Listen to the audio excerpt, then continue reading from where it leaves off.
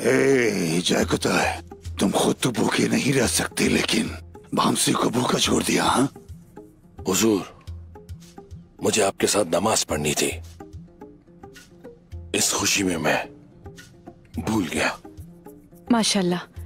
क्योंकि नमाज़ पढ़ रहे थे अपना खाना भूल गए हो? मैंने तो खा लिया। बामसी साहब का खाना भूल गया।